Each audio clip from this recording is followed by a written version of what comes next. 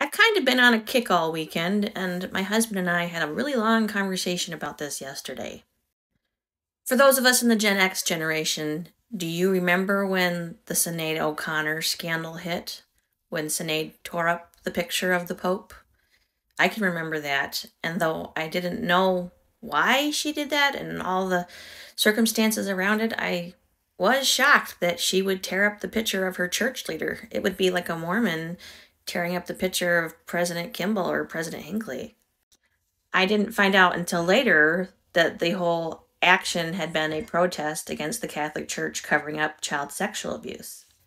And at the time, since I have uh, close relatives who are members of the Catholic Church, I had said to myself, how could anybody finding this out about their church stay Catholic? How? In October of 2022, we will hit the 30 year anniversary of Sinead O'Connor's Act.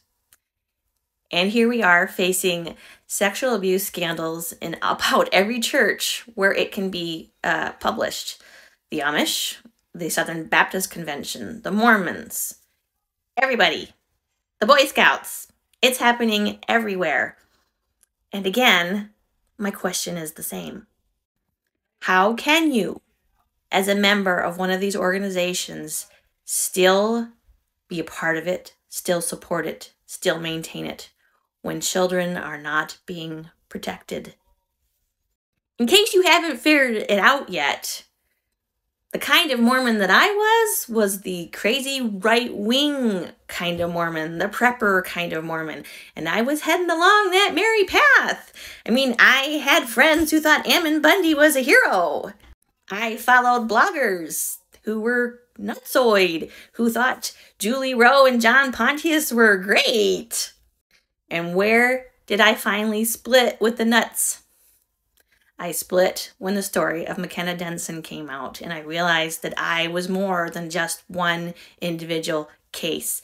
That child sexual abuse and its cover up was as endemic or worse within the Church of Jesus Christ of Latter day Saints as it was or ever had been within the Catholic Church.